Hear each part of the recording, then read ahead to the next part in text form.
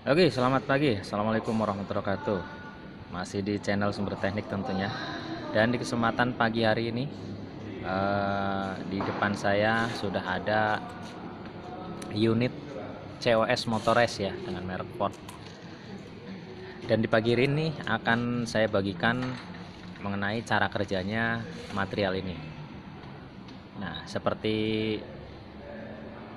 bentuk-bentuk dari tipe COS kebanyakan dengan tipe-tipe yang lain dan yang beberapa sering yang saya upload dengan merek Sokomek ini juga hampir mirip-mirip ya sama.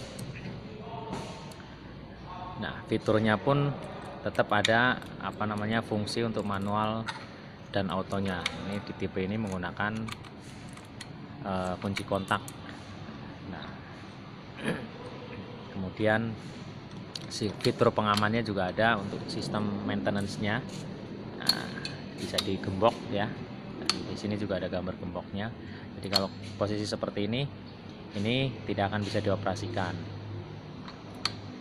Kemudian beralih ke fitur kontrolnya. Nah, ini sebenarnya COS kelas premium ya dibandingin merek-merek yang lain seperti Smart Gen, uh, Sokomek dan ada beberapa tipe yang lain ini adalah uh, dengan harga premium. Namun populasinya juga banyak dipakai sama teman-teman panel maker. Uh, mereknya pun yang sejenis ini atau bentuknya sama persis itu mereknya variasi ya. Di antaranya ada uh, Salser yang mungkin secara brand itu keluar lebih dulu. Kemudian uh, ada Hammer dan kebetulan di depan saya ini akan saya bahas dengan merek Ford. Pada dasarnya sama, sistemnya sama, penggunaan teknologinya pun sama persis, cuma beda brand saja. Oke, cara kerjanya seperti apa? Langsung uh, kita praktekkan saja. Nah, ini kalau teman-teman lihat, ini uh, bagian kontrolnya ya. Kita fokus selalu di bagian kontrol karena ini yang berperan penting dalam e, nanti sistem rangkaian penunjangnya. Yang pertama yang label kuning ini adalah e, untuk sistem inputnya. Nah kalau ini adalah udah langsung menggunakan dua power supply masuk ya, tidak seperti COS Sokomek yang beberapa video lalu saya upload itu masih menggunakan single power supply. Nah, kalau di uh, tipe ini ini sudah menggunakan uh, double power supply. Jadi sumber PLN dan genset sudah masuk ke sini. Ini untuk 102 103 itu untuk sumber uh, eh, PLN ya, untuk prioritinya karena uh, kalau udah dual power supply ini ini udah didesain itu sistem priority. Jadi nanti ketika fungsi otomatis itu ketika sumber PLN nya on itu otomatis udah langsung ngoper ke eh, switch 1 atau PLN ya. Kemudian yang 104 105 itu untuk sumber keduanya. Akseleri sumber atau secondary sumber yaitu dipakai untuk eh, tegangan genset jadi kedua inputan power supply ini atau kedua inputan eh, tegangan ini ini udah udah jalan sistem priority. Jadi ketika dua-duanya ada atau terdapat input di sini keduanya ada secara otomatis eh, motor akan bergerak ke posisi satu atau posisi PLN itu secara otomatis nanti seperti itu ya. Nah kemudian di 101 dan 106 nya itu udah ada output dari kedua sumber ini. Jadi di mana posisi uh, sumber itu jalan semuanya uh, ini sumber PLN oke okay, masuk. Dan posisi kontak uh, eh, ATS nya posisi di PLN nah ini 101 dan 106 itu adalah output dari sumber tersebut. Begitupun sebaliknya ketika PLN blackout atau mati, kemudian sumber genset masuk, ini berubah menjadi uh, sumber genset ya. Dan nantinya akan diumpankan ke sistem akseleri kontaknya. Dan pemakaian sumber ini sesuai yang tertera di depan ini. Nah, nah ini ada lambang M yaitu motor motor bekerja di 220 volt. Seperti itu ya. Nah kemudian ke apa namanya sisi yang lain. Nah, nah ini adalah sistem kontrol. Ini uh, sistem kontrolnya sama seperti uh, mungkin di Sokomek ya ada common ini adalah commonnya di 202 uh, 203 untuk posisi 1 202 untuk posisi uh, 204 untuk posisi 0 dan 205 untuk posisi 2 nya jadi uh, mungkin secara prinsip COS uh, eh, ada kesamaan ya ini sistem kontrolnya. Namun di sisi yang lain ini ada perbedaan ada sedikit uh, perbedaan.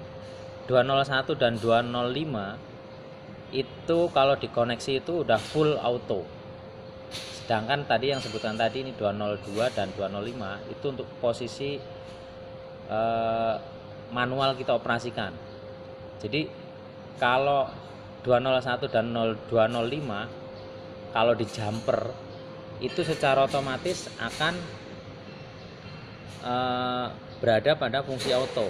Dan ketika uh, sumber PLN ini masuk secara otomatis switch akan pindah ke posisi satu atau posisi PLN sebaliknya ketika blackout PLN blackout itu genset tegangan genset masuk itu juga secara otomatis switch akan motor akan mengoper ke posisi 2 atau posisi genset.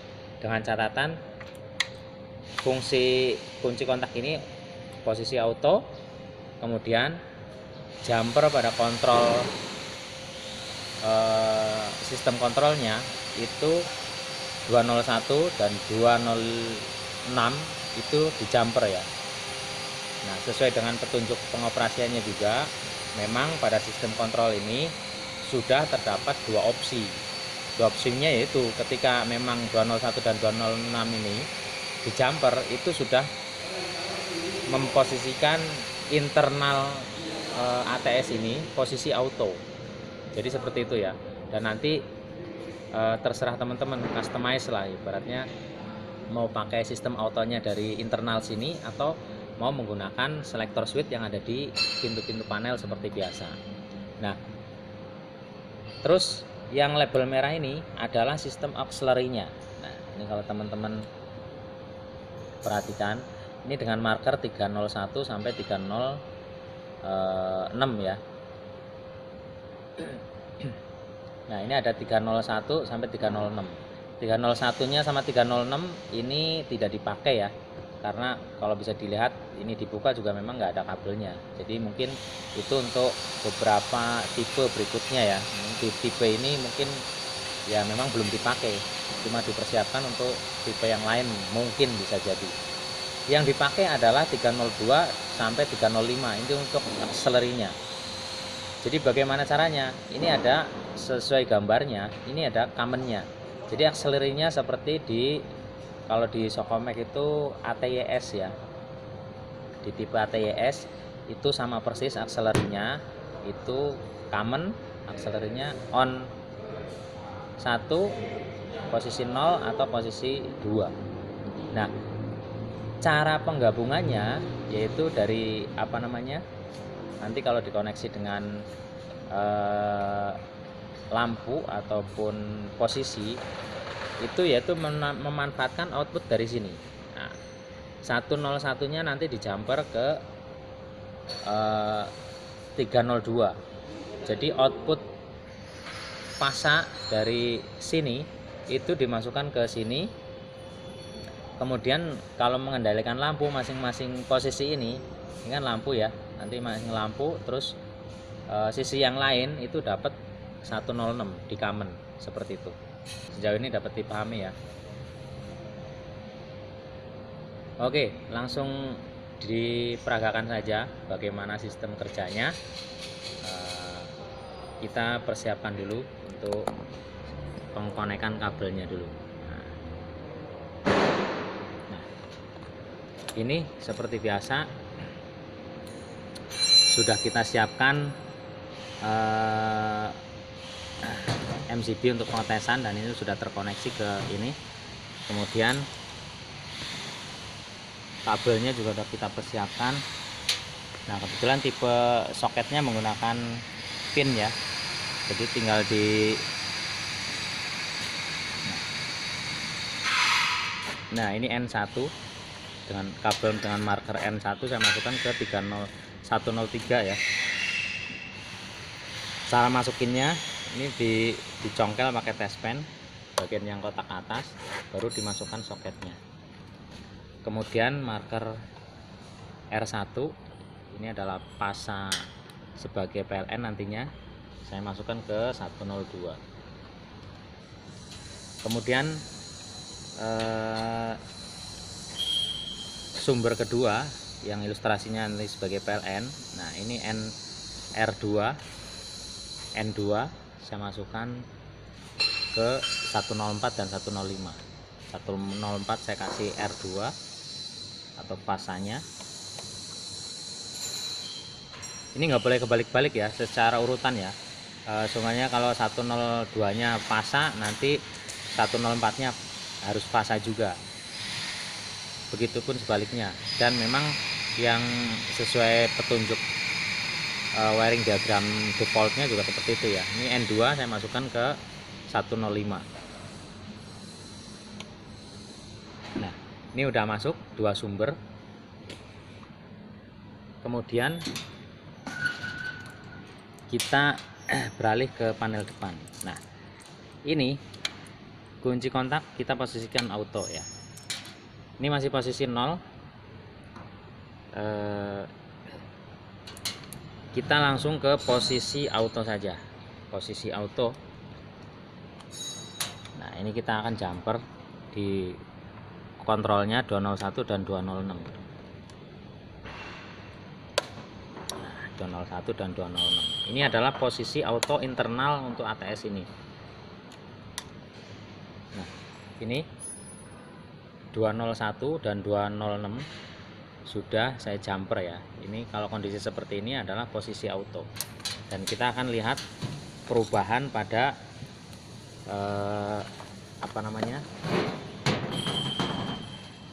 di depan ini. Teman-teman lihat posisinya.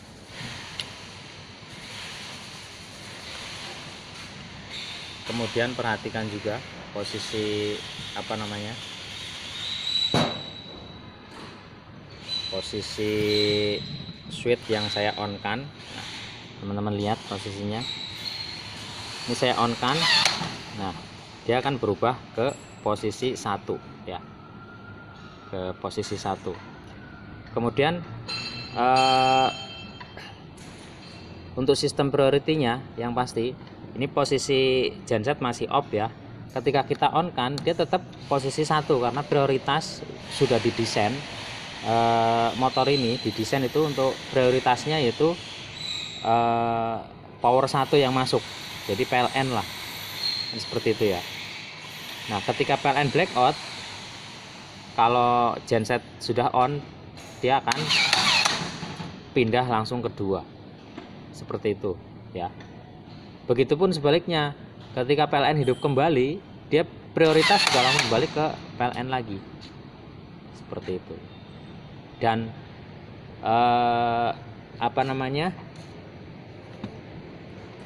Perpindahan ini nah, kalau menggunakan sistem otomatis internal ini berarti dengan kata lain sumbernya nanti bisa untuk sistem return delay-nya ini bisa memanfaatkan on uh, kedua sumber ini kan seperti itu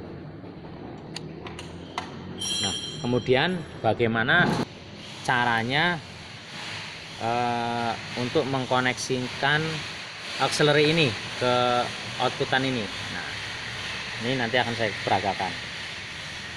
Nah sekarang akan coba saya peragakan uh, cara mengkoneksi uh, sistem auxiliary-nya ya. Seperti yang dijelaskan di awal tadi 101 adalah sebagai output dari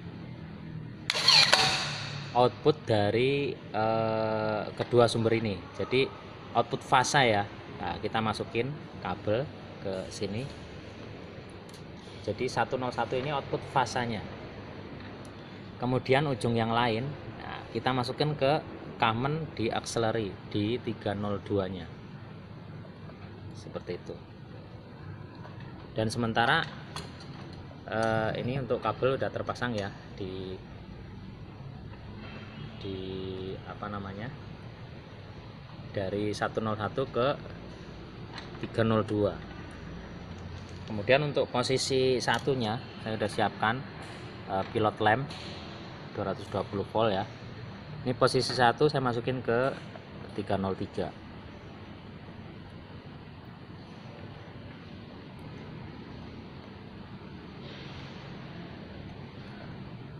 posisi lampu hijau itu nanti posisi satu atau posisi PLN.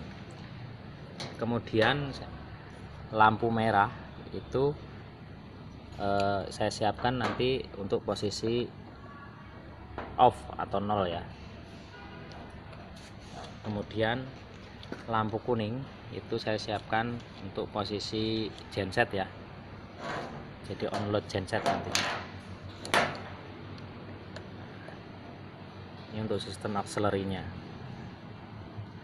nah ini kondisi lampu sudah terkonek satu kaki ke masing-masing akseleri uh, output dari ATS ini.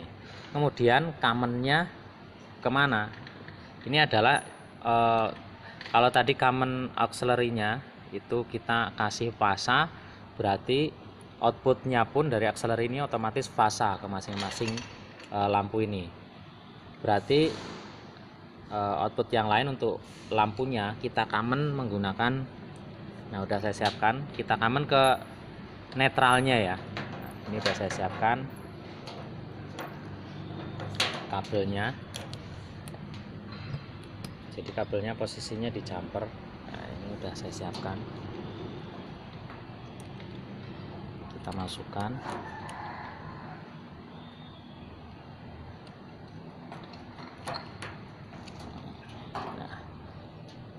terus ke satu lagi.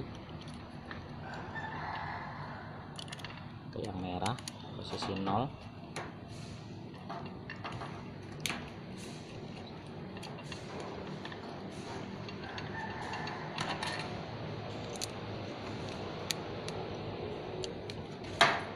terus satu ujung lagi ke posisi LN atau posisi eh, lampu hijau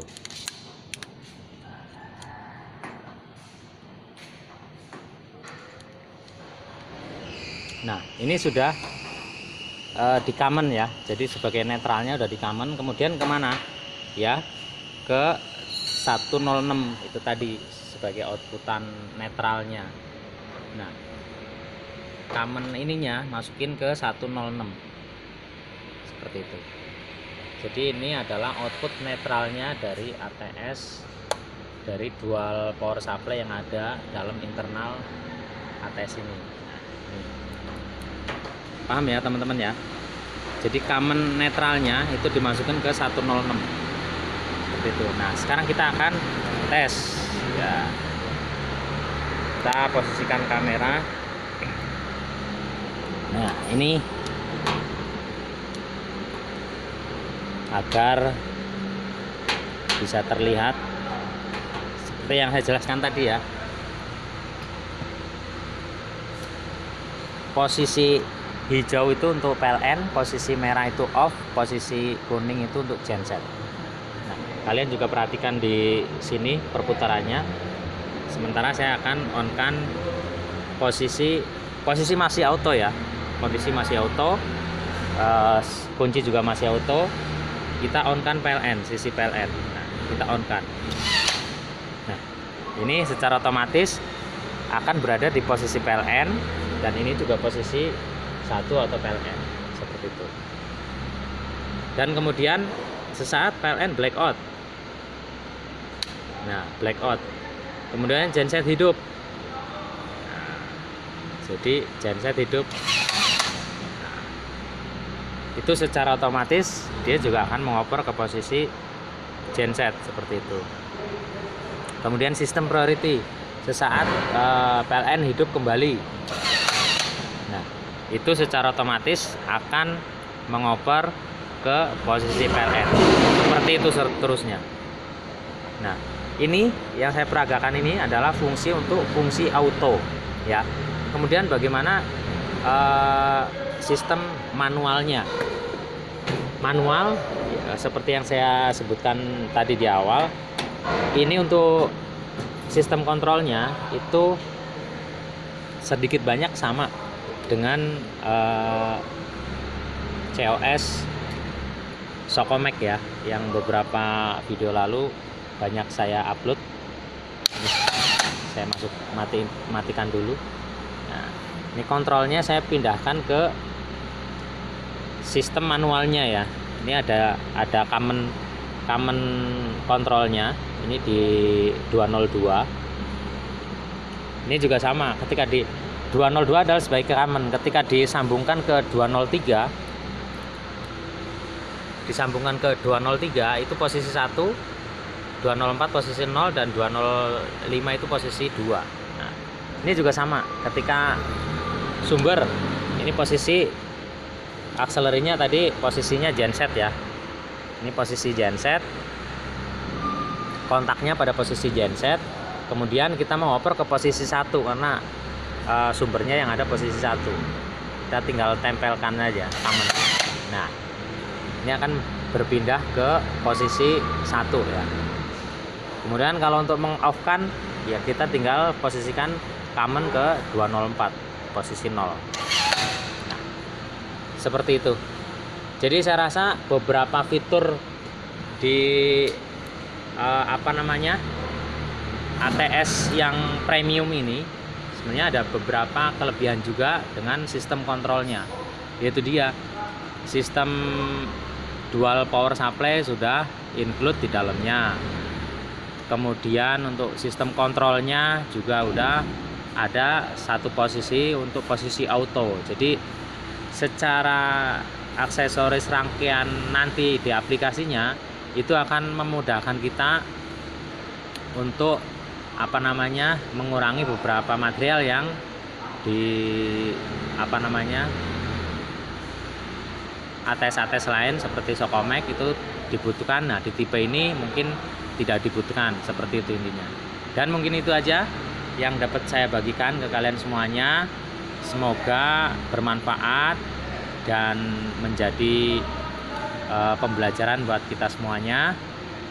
Jangan lupa like jika kalian menyukai video ini serta subscribe bagi kalian yang belum subscribe